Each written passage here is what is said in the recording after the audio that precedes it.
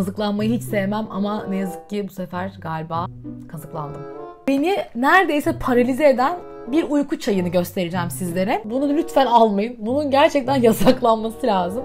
48 saate yakın beni paralize etti. Şu markanın ürünlerini utanmadan bu ülkeye getiriyorsunuz 200 liraya, 250 liraya, 300 liraya. Yemin ediyorum 1 gram utanmıyorsunuz ya. Şunlar ne kadar ucuz biliyor musun? Merhabalar, hoş geldiniz. Yine ben, YouTube'un yeni yetme starı. ne demek lan bu? Yeni yetme YouTuber'ınız yine burada. Bambaşka bir içerik, bambaşka bir video, bambaşka bir deryadayız. Bu hafta Almanya'dayız diyormuşum. Yok Almanya'da falan değiliz ama Almanya'daydık Berlin'de. Ee, yaklaşık 5 gün kadar kaldım ve bunun 48 saatini alışveriş yaparak geçirdim. Valiz maliz paylaşınca da Instagram'dan merak ettiniz Zeynep acaba yine saçma sapan neler aldın? diye sordunuz. Ben de tabii ki bunu bir videoya çevirmek istedim. Kaju fıstığından tutun beni bayıltan bir çaya, multivitaminlerden saç bakım ürünlerine, Derya Deniz yine lüzumsuz her şey burada. Baktım satın aldığım ürünlere ve çok da ilgi çekici şey yok aslında. Yani şöyle Türkiye'de olmayan şeyler de var. E, abuk sabuk birkaç ürün de var. Ama böyle aman aman Zeynep Almanya'dan neler almışsın ya denecek bir şey yok. Onu söyleyeyim. Bugün günlerden 2 Ekim 2019. Bakalım 1 euro bugün kaç TL yapıyormuş? 6.25. Bundan 2-3 sene sonra bu videoyu izleyecek olanlar umarım 6.25 değil de daha düşük bir döviz kuruyla alışveriş yapıyor olur. Çok sanmıyorum ama umarım böyle olur. Aldığım şeyleri 3 ana kategoride topladım.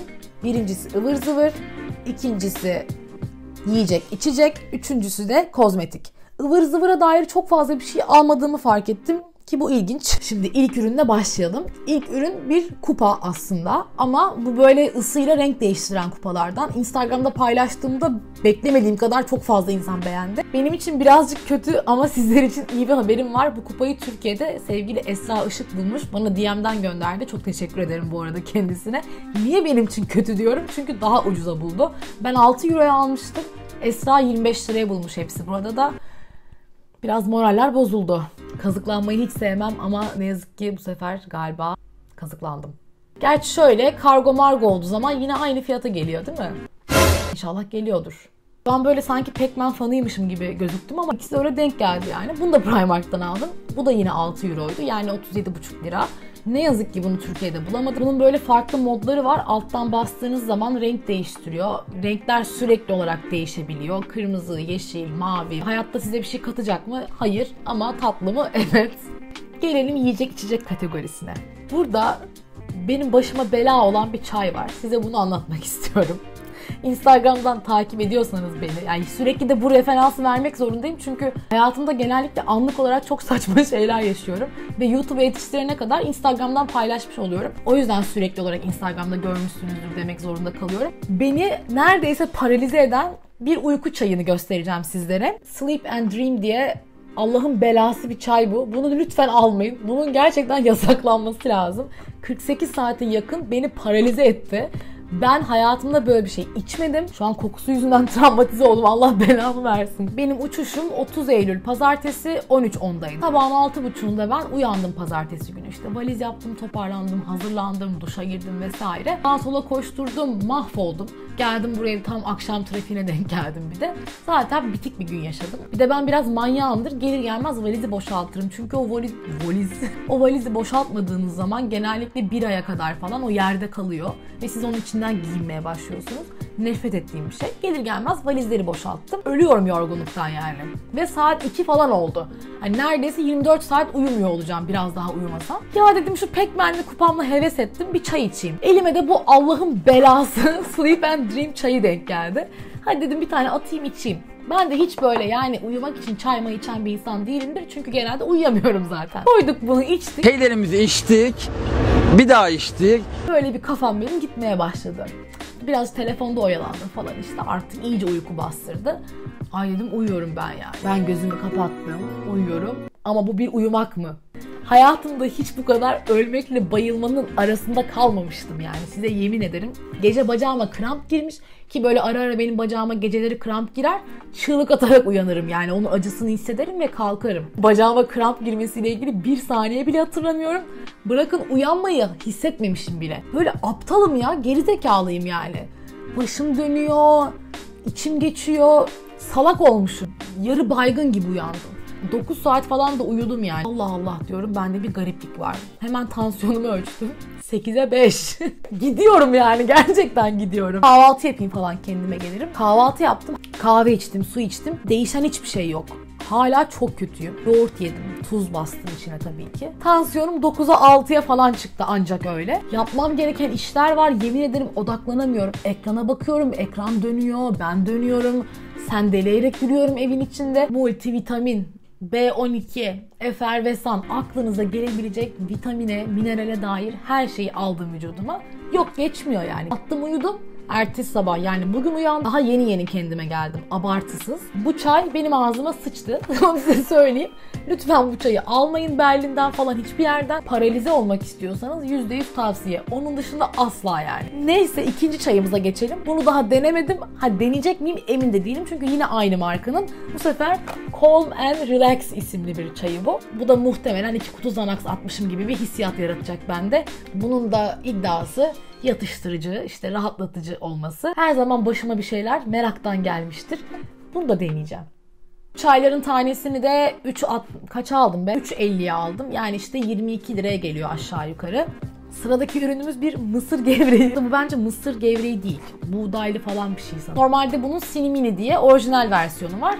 Ben Golden'lı aldım. Hani böyle bir tık daha sanki sağlıklı bir şey yiyormuşum gibi hissettiğim diye asla sağlıklı bir şey değil bu arada. Türkiye'de ben görmedim. Gören varsa lütfen yorumlara yazsın. Çünkü biraz sevdiğim bir şey. Gelelim en saçma şeye. Kaju fıstığı. Şimdi markete gittiğinizde 1, 2 gibi rakamlar görünce diyorsunuz ki ulan çok ucuz. Aslında 6.25 ile çarpıyoruz tabii ama benim böyle bir ara bir kafam gitmiş herhalde ki kaju fıstığı almışım. Bayağı 100 gram çiğ kaju fıstığı almış. Bunun fiyatı 1.60 yani 10 liraya falan tekabül ediyor. Türkiye'de de 20 lira gibi bir fiyatı var. Yani aslında iki katı. Alınır mı? Alınır. Ama yani kaju fıstığı binlerce kilometre öteden taşınır mı? taşınmaz. Bu arada Primark'tan işte bir sabahlık, bir eşofman, iki tane kazak falan aldım ama onları hiç göstermek istemedim. Çünkü gerçekten dünyanın en basit kıyafetleri hayatımın %80'i kilolu olarak geçtiği için benim kıyafet alışverişim genellikle hep şöyle ilerledi. Gidiyordum mağazaya, bakıyordum kıyafete, giyiyordum üstüme. Eğer beni rahatsız edecek kadar dar değilse ve güzel durduğunu düşünüyorsam satın alıyordum. Hani çok fazla opsiyonum yoktu açıkçası. O yüzden böyle bu kanalda lookbook, efendim fashion bunlar yok. Gelelim en önemli konu başlığına kozmetik. Türkiye'de olmayan bazı şeyler de aldım. Burada olup yarı fiyatına olan şeyler de aldım. Bir de birkaç tane efervesan tablet, işte multivitamin gibi şeyler aldım. Hatta öncelikle onlarla başlayalım. Onları bir aradan çıkartalım sıkıcı. Bir multivitamin satın aldım. Aşağı yukarı 18 liraya denk geliyor bu arada bu. Armoton'un galiba 30'lusu 70 lira falan. Yani o yüzden yine çok uyguna geldi. Tabii ki yanan saçlarım için bir şeyler almasam olmazdı. Saç kökü, deri ve tırnak görseli var. Dedim ki herhalde bu saç, tırnak ve deriyi besliyor. Çok zekice. Bunda da 30 tablet var. 4,5 euroydu fiyatı. Yani 23,5 lira gibi bir şey denk geliyor. Ki bence çok uygun. Sadece biyotin bile alsanız bundan daha pahalıya geliyor Türkiye'de. Bunun içinde Q10 hyaluronik asit galiba. Hyaluron yazıyor çünkü. Ve daha bir sürü şey var. Ne var acaba? Asıl şunları o kadar ucuza aldım ki size anlatam. Buraya getirip ticaretini yapsam olur yani gerçekten. Multivitamin, multimineral, magnezyum içeren efervesan tabletler aldım. Düz yani. Tanesi 3 lira şunların. 40 cent. Şaka gibi. 3 TL. 3. Akakçı'ya girdim baktım. En ucuz 15 liraya satılıyor burada. Bu değişik görünümlü rolonlardan aldım. Aslında bu Ultra Dry Türkiye'de var ama ne yazık ki rolon olarak yok ya da ben görmedim. 48 saat boyunca koruma vaat ettiği bir rolon aldım. Umarım 48 saat koruyordur. O yüzden bunları yaza saklayacağım. Yine 48 saat koruma vaat eden hem de siyah ve beyazlarda leke yapmadığını iddia eden bir rolon aldım. Bunun tanesi 1.75 euroydu. Yani 11 liraya falan denk geliyor ki yine Türkiye'deki rolon fiyatlarından daha uygun. Belki Pixie yabancı YouTuber'lardan duymuşsunuzdur. Love Matte Cleanser diye bir temizleyicisini aldım bunun. %5 glikolik asit ve aloe vera içeriyormuş. Ya bu asit muhabbetlerini çok anlamıyorum açıkçası ama glikolik asit herhalde iyi bir şeydir falan diye düşünerek sepete attım. Umarım bu videonun altına harika bir glikolik asit açıklaması gelir de hepimiz aydınlanırız. Çünkü gerçekten glikolik asitin ne işe yaradığını bilmiyorum. Gözenekleri derinlemesine temizlediğini iddia ediyor bu arada. Bakalım göreceğiz. Ben bunların hepsini bu arada deneyeceğim tabii ki ve Instagram'da storylerde, motorlarda muhakkak güncelliyor olacağım sizi. Şu markanın ürünlerini utanmadan bu ülkeye getiriyorsunuz. 200 lira, 250 lira, 300 liraya. Yemin ediyorum 1 gram utanmıyorsunuz ya. Şunlar ne kadar ucuz biliyor musunuz? Gerçek bir fiyat performans markası Ordinary. Kesin duymuşsunuzdur. Şöyle göstereceğim size. Ordinary markasının Buffet, Buffet, Buffet büfe daha iyi gibi oldu. Direkt olarak Türkiye'de satışı yok ama insanlar bunları yurt dışından 15-16 euroya alıp burada 200-300 liraya satıyorlar. Ben aldım 15 euroya yani 100 liraya. Şimdi gelelim John Frieda maskelere. John Frieda yeni bir seri çıkartmış Repair and Detox diye. Ben de Türkiye'de görmeyince hemen attım sepete. Aa Türkiye'de yok ilk ben alacağım falan diye. Aynı gün Instagram'da gezinirken story reklamında çıktı. Türkiye'ye gelmiş. Ben bunu 6,5 euroya aldım. Yani 40 lira gibi bir fiyatı var. Türkiye'deki fiyatı 70 liraydı. Türkiye'de John Frieda'nın bu maskesi zaten yıllardır var ama yine tabii ki ucuza geldiği için aldım. Bu da 70-80 lira civarı değişiyor burada. 6,5 euroydu. Bunlar tabii benim bebeksi saçlarım için yoğun bakım içeren maskeler.